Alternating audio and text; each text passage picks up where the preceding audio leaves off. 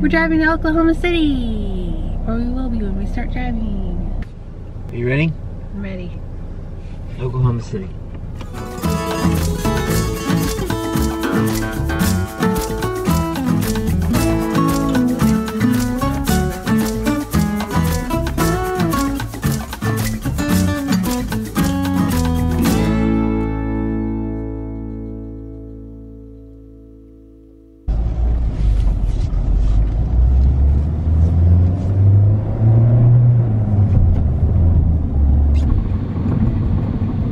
You can tell we made it to Oklahoma because the roads are so bumpy.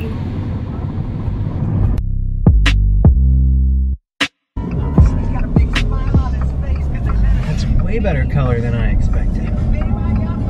Look at that. Man, their pictures were terrible. that would be it. We bought an RV! Um, I didn't record any of the process of like literally purchasing it, uh, but I do have a little clip of Casey test driving it that I'm going to throw in here, and then the rest of this is going to be just his experience driving it for the first time, driving it home, and you'll get to see a little bit more of it that way.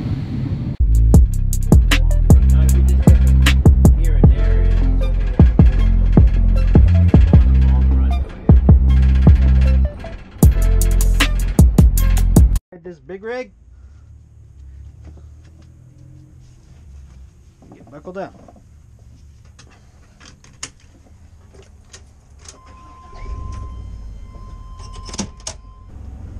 We go.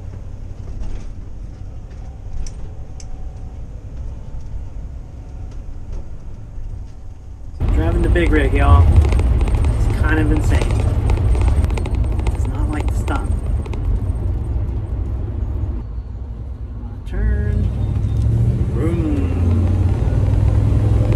It's like driving a bus.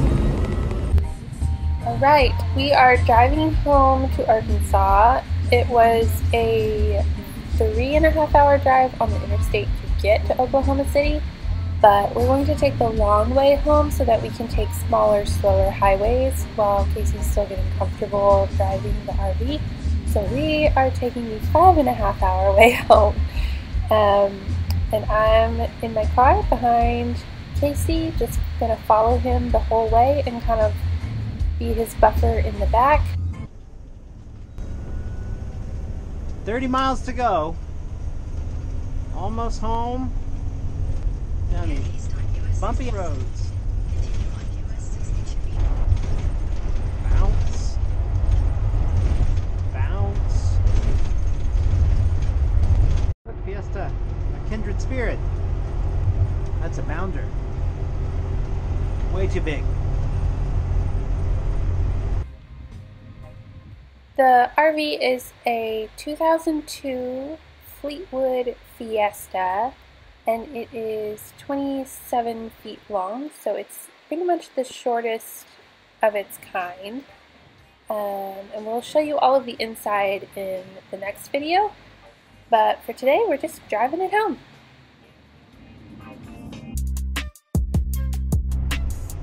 Back to the open road. Page in my rearview mirror. Everywhere. Bumping around. Welcome to Arkansas.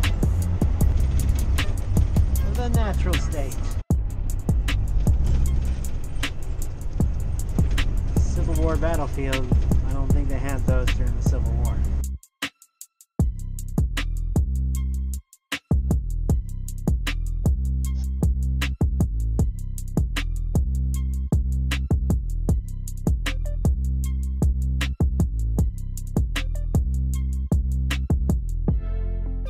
We just got home um, with the RV and ate some dinner real quick and it's about 8 o'clock but we're really excited so I'm gonna go out there and I've got some trash bags and I'm going to clean up just kind of like some of the junk that was left in. We're just gonna kind of clear it out so we have a clean slate.